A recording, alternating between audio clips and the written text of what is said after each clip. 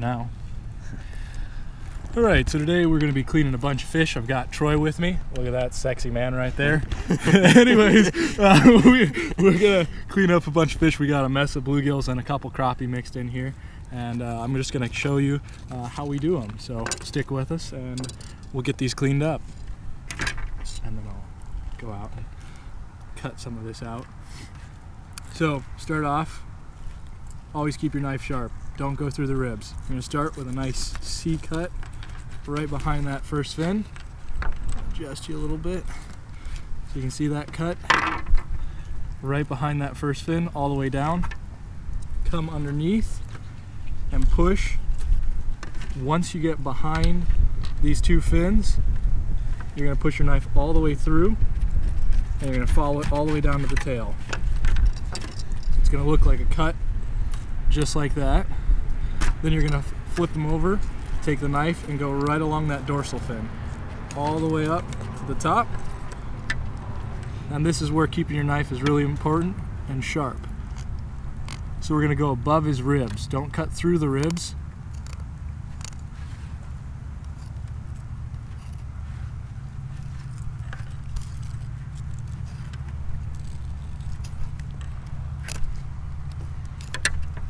Then once you have the ribs off, you can just pull and there you have a boneless fillet.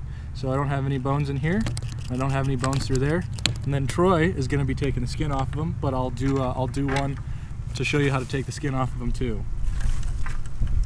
Take your finger, don't cut it off, and uh, make a cut vertically and then go horizontal. Whoop, and just work that meat right off.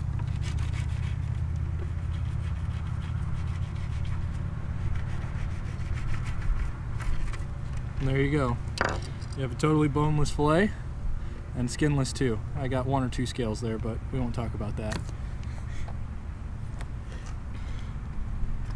And we're gonna save you some time. We're gonna time lapse the crap out of this so you don't have to watch us clean all of them.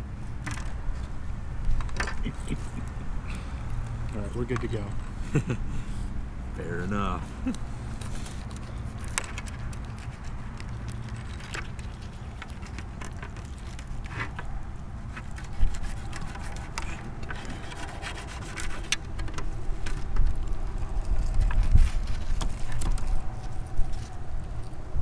Oh, did you get fish done? Hmm? Oh, you only got the one One half done. side. Did you already have a fish done? If I was going normal speed, I would. There's a fish done.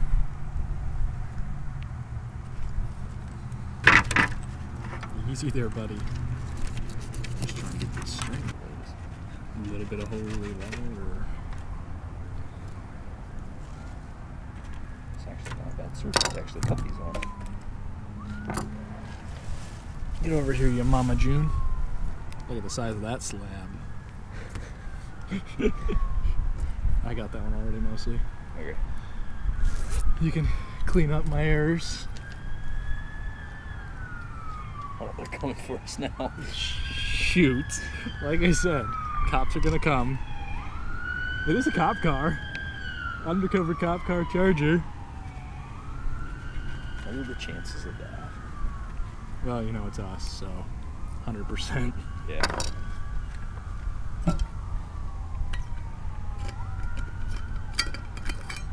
It's a lot of cars. There we go. Responding to uh, somebody lost Mr. Fluffers.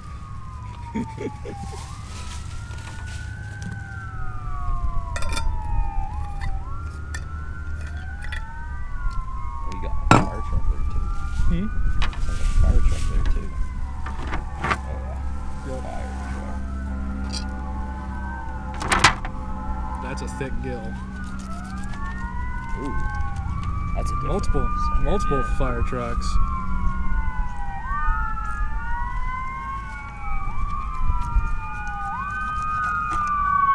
So now they're coming back? No, I think they turned in Oh, they're at this intersection. Okay. here. Yeah. No. Oh, ambulance. Ambulance!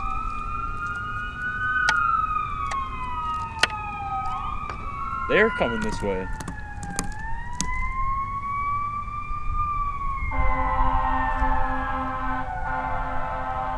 Yeah, they turned right there in that drive. Yeah. Huh. huh. We're right next to something really cool. well, really bad. Yeah.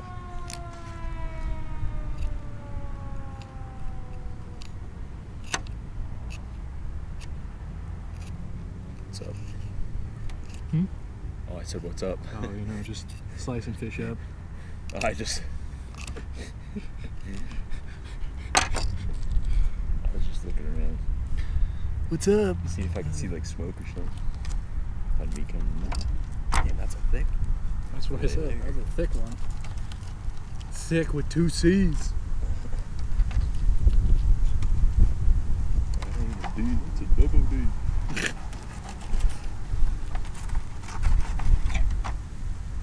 oh, you can put that puppy on a sandwich.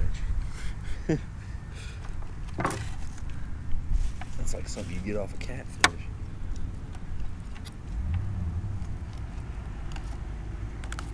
Your video's not going to be very long. What do you mean? It You only does- did the beginning part. we got to do an outro. Oh, of course. Well, I guess you're going to do time lapse of the whole thing. Yeah, we're gonna time lapse the whole thing. So they're they're just gonna see us carving through fish left and right with some key moments where it's not time lapsed. Like like when you're like that one goes on a sandwich.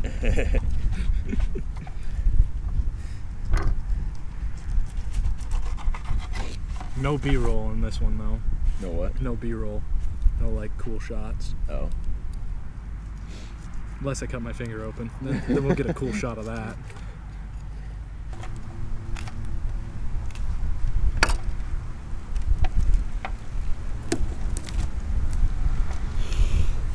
How we doing? Is the pile getting smaller? Kinda. Still Doesn't look like it. really good fish. Yeah.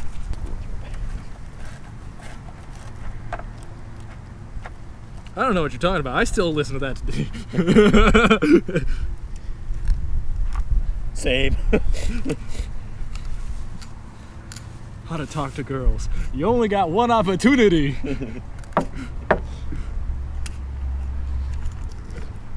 Blow your shot. to blow your shot.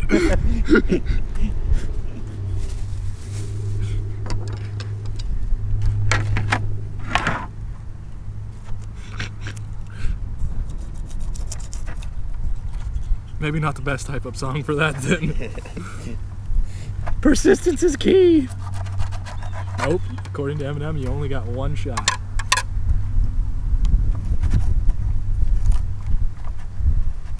This is a sandwich one too for you, Troy. That crappie is a sandwich right there. Also, your nine and three quarter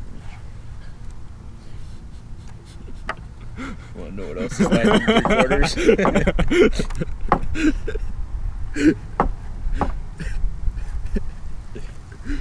Oh boy. And this became R rated. Very quickly. Could be a lot worse. it's onto the ground. Down to two. We got a crappie and a big bluegill. They're actually about the same size.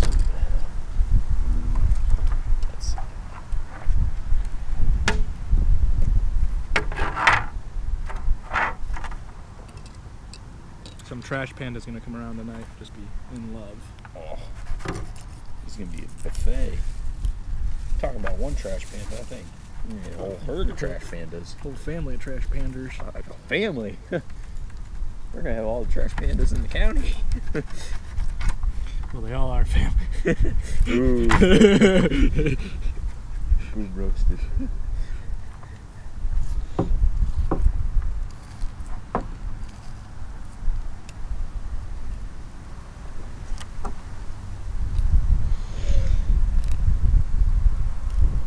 Yeah, this is a sandwich one for you, Troy.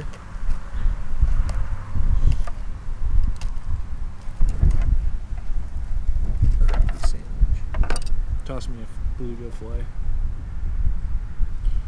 Good size bluegill fillet, good size crappie fillet. You can see that there's almost twice to three times as much meat on the crappie fillet.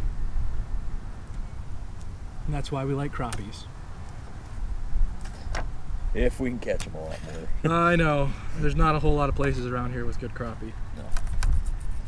Here, there you gotta have a boat to be able to get to them. Usually. Guess you gotta chase them down.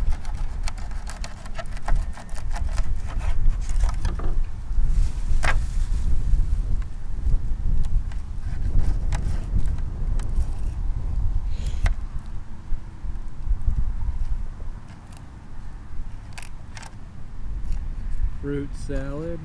Nummy, nummy. Fruit salad. Oh, honestly, that's a dang good crop. It's pretty dang thick. Like if you can catch like Ten of those. oh, You'd be, you'd be in business for a day. Last one, guys. He's still alive. This is a big old bluegill. Not quite an Iowa master angler, but certainly anybody who catches this guy, he puts a smile on your face.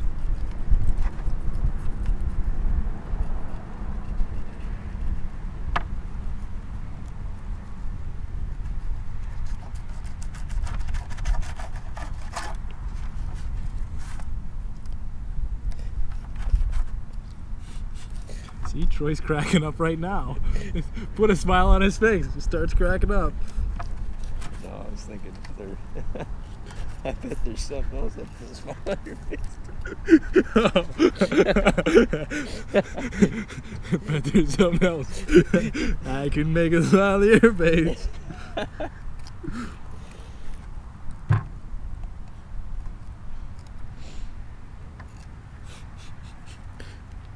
we all go home happy.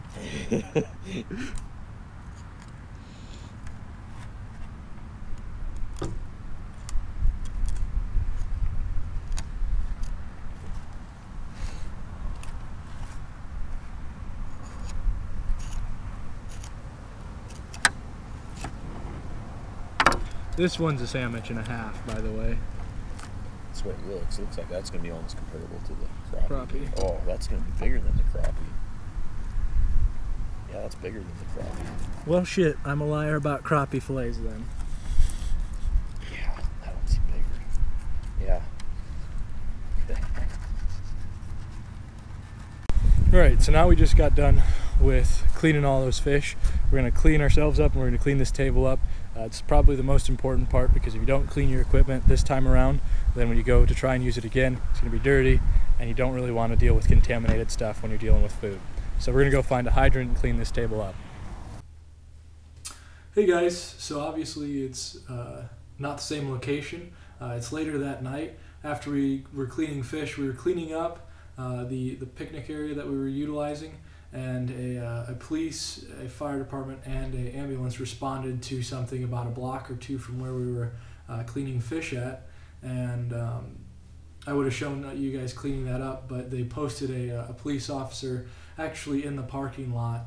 Um, so we figured that we should probably uh, get out of there as fast as possible and not film an outro. So hopefully, uh, I haven't looked at the footage. Hopefully that turns out all right. Uh, I know that a fish at one point hit this and it, uh, it moved uh, the camera off of off of my cleaning, so it may be a much shorter video. Um, also, I know the the one question is going to be why didn't you show us uh, the fishing area? Well, number one, it wasn't my spot. Uh, Troy, he's a good buddy of mine. Um, he said, "Hey, we're going to go to a secret spot," and I said, "All right, I'm not going to risk publicizing his spot." And so we we didn't film that, but I said, you know what, this could be a very educational moment in time with uh, cle- the cleaning process of bluegill. I know I had mentioned earlier that I wanted to get a, a better set of, of cleaning videos, both with trout, uh, bluegill, crappie, all of the above, uh, anything that I clean. I really want to show you guys how to process that. So hopefully, once again, I haven't looked at the footage, but hopefully uh, I've got at least one or two um, really good bluegills in there that I can show you guys and say, hey, yep, this is this is how I clean bluegill and it works for me. Thank you guys. Hopefully you found it interesting and uh, let me know what I can do different to do better.